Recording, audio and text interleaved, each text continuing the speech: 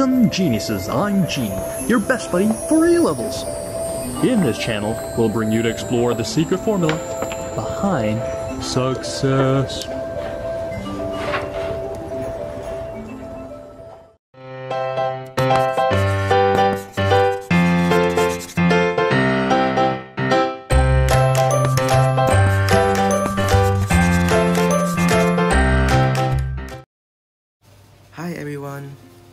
We are going to learn about rational functions and graphs.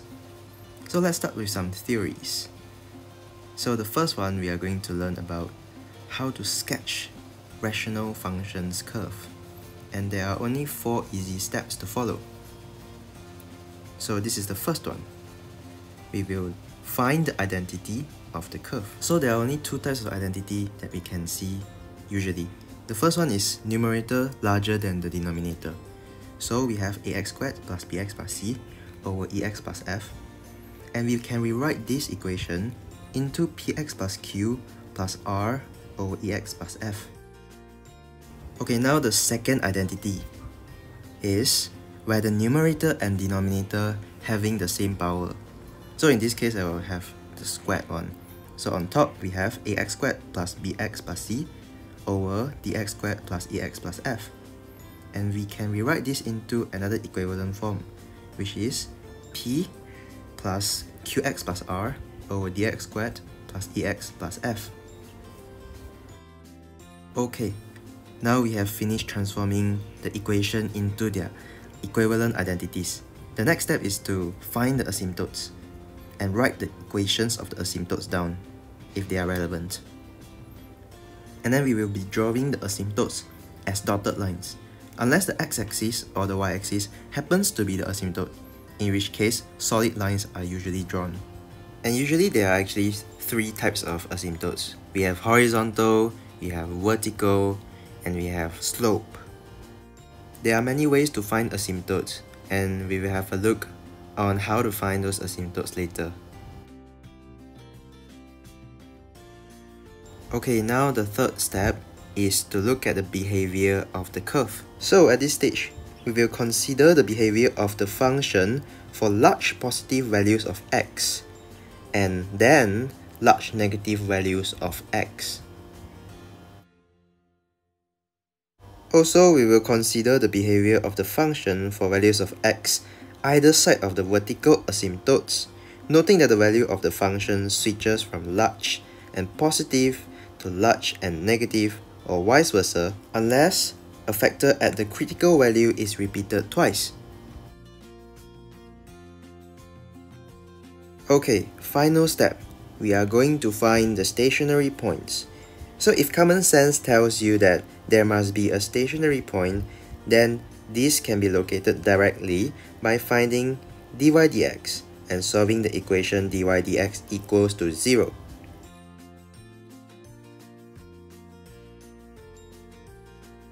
Or there is another alternative approach, which we can rewrite this equation y equals to ax squared plus bx plus c over dx squared plus ex plus f as bracket dx squared plus ex plus f bracket times y equals to ax squared plus bx plus c, which means we move the denominator onto the other side of the equation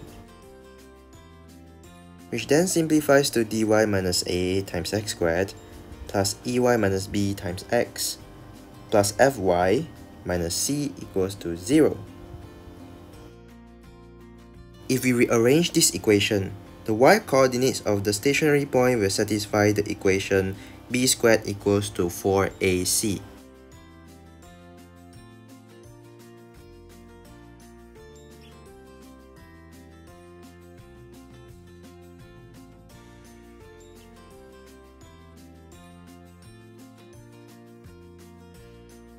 Now let's look at an example. We will be sketching this equation y equals to 2x minus 3 over x minus 2 times x minus 6. So we are going to follow the steps that we have been discussing just now, the four main steps. The first one is to find the identity of the equation. But we will just rewrite this equation again. because we know that there are no algebraic division needed here.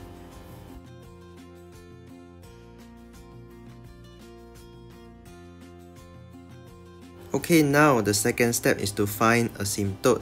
So there are actually three asymptotes as we can see here. The first one is x equals to 2, the second one is x equals to 6, and the third one is y equals to 0. But how do we find it? So it's actually very easy to find the asymptotes of the equation. We just have to look at the denominator of the equation. So in this case, we have x minus 2 and x minus 6. And now we let the denominator equals to 0.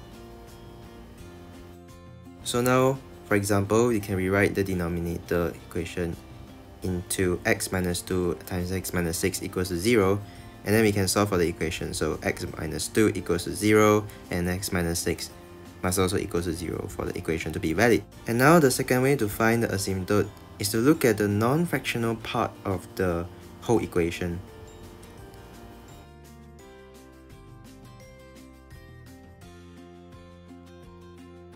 So for example, right, this equation, we don't have any identity left.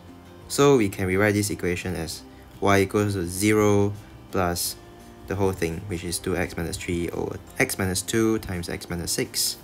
And we can clearly see that the non-fractional part in this equation is 0. So, the third asymptote is just y equals to 0. Very easy, isn't it? Okay, we are halfway there. Let's move on to the behavior of the graph. So we will first look at the asymptote equation first. So we have x equals to 2, which is a vertical asymptote. So on each side of this vertical asymptote, we can add or subtract a very very small value, which is in this case epsilon, to understand the behavior of the curve on the left hand side and on the right hand side of the asymptote. So for the case of the vertical asymptote x equals to 2, we want an x value which is on the left of this vertical asymptote. So we will subtract it with a very very small value which is epsilon here. Then we obtain x equals to 1.999 something and 1.999 something minus 2 will become a very small and negative value. And if we substitute it back into the original equation, then we got a positive on the numerator over a negative value times another negative value. So the whole y equation becomes large and positive. Okay, to know the behavior of y on the right side of the equation, we now add x which is 2 now, with a very small value, and we'll get 2.000000 something. And this 2.00 something minus 2 is equals to some a value which is small and positive.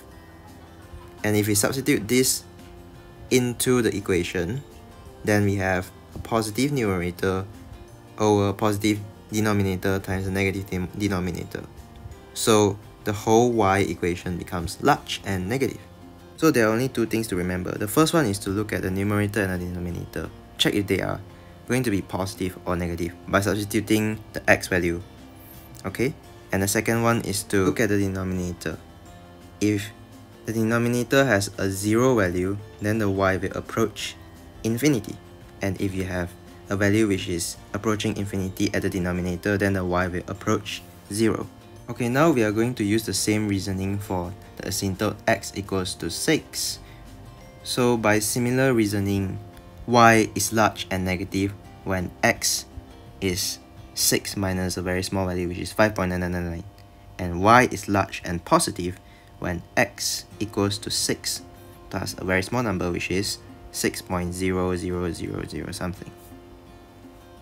Okay, now we have finished looking the behavior around the asymptote and now we are going to focus on the behavior of the curve when x approaches infinities. When x approach infinity, y will approach 0 and from the above. Whereas when x approach negative infinity, y will approach 0 as well, but from below. So why is it like that? Why from above and from below? So we can gain more understanding by drawing out a simple sketch. Now focus back onto the equation. So we substitute a positive infinity into the numerator first. So 2 times infinity minus 3 we get a positive infinity up there. And divide by a positive infinity minus 2 times a positive infinity minus 6. So infinity times infinity is a bigger infinity at the denominator. So a smaller infinity over a bigger infinity, we can say that the whole equation will approach 0 as the denominator is now so much bigger than the numerator. Similarly, for negative infinity, 2 times negative infinity minus 3, we get a negative value, over a negative infinity minus 2 times negative infinity minus 6, negative times negative is positive. So the numerator has a negative value and the denominator has a positive value, so the overall equation is negative. So the numerator is smaller than the denominator, so y approaches 0. When x approach positive infinity, y is a positive value, so we say that it, the graph approach from the above, and when x equals to negative infinity, we say that the y equation is negative, so it approach from below. Now for the final step, we are going to look at some special points. The first one is to look at the intercept first. So when x equals to 0, we know that y equals to minus 1 over 4. Whereas when y equals to 0, x equals to 3 over 2. Okay, next step, we are going to find the stationary points. But before that, we can do partial fractions to make the calculation easier. So remember from P3, you know how to do partial fraction, right? So we just rewrite the equation y equals to 2x minus 3 over x minus 2 times x minus 6. And after performing partial fractions, you will get minus 1 over 4 times x minus 2 plus 9 over 4 times x minus 6. We have finished the partial fraction perform dy dx and let it equal to 0 and then you have this equation. Now we rearrange the whole equation and we will get at stationary point we know that 9 times x minus 2 squared minus x minus 6 squared equals to 0. Further simplify this equation into this which is 3 times x minus 2 plus x minus 6 times 3 times x minus 2 minus x minus 6 equals to 0. Okay, we are nearly there. So simplifying the equation, we will get 4x minus 12 times 2x equals to 0.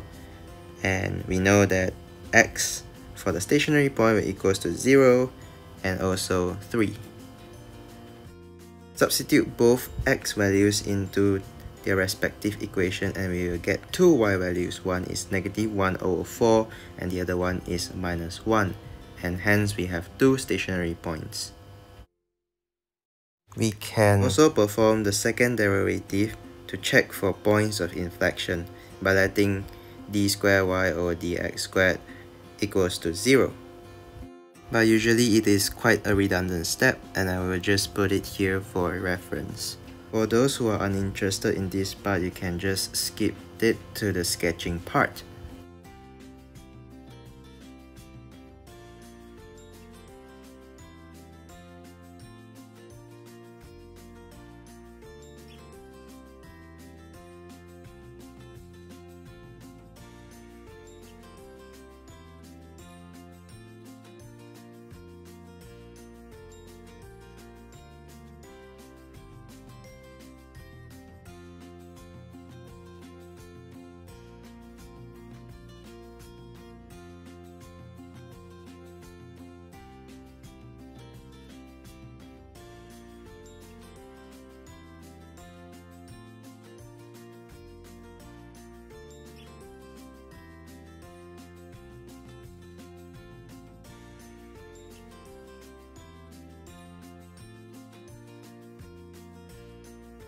Great, we can now sketch the graph.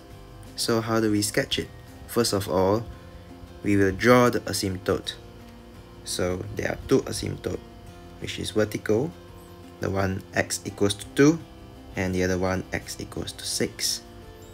And we also know that there is a horizontal asymptote, but it lies on the x-axis because it's y equals to 0. We don't have to draw it out. Okay, the second step, we have found the behavior of the graph near the asymptotes. left hand side of the x equals to 2 asymptote, we know that the y value is large and positive. On the right hand side, we know the y value is large and negative. So we just make a mark there. Similarly, for the x equals to 6 asymptote, we know that on the left hand side, the y value is large and negative, whereas on the right hand side is large and positive. So we make two marks again. Also know the behavior of y when x approach positive infinity, which is from the above. Whereas when x approach negative infinity, we know that the graph approach from below. So now we are finished with the behavior. We are going to plot some important points like the zero point which is on the origin and also the intercepts. We will plot the y-intercept first and then we'll plot the x-intercept. Please remember to label the coordinates of the point also. Okay, once we are done with the intercepts, we are going to plot the stationary points that we have found also. And also remember to write down the coordinates of the points. Okay, very good. We have all the points and behaviors that we need to sketch the curve. So what we need to do now is to connect all the points together. Very easy.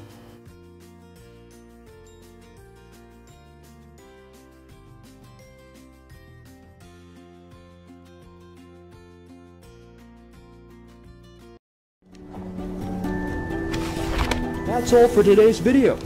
If you're interested in more genuine sharing by other geniuses, please subscribe to our channel and don't forget to turn on the notification bell, ding dong. Also, if you're struggling with one or two past year questions, and the mark scheme just doesn't seem to help, Genie has got you covered. Feel free to let us know what question it is by filling in the Google form linked in the description below. Genieus Hub will get genius teachers to fulfill your request for the solution. Genie we'll see you next time. Bye bye.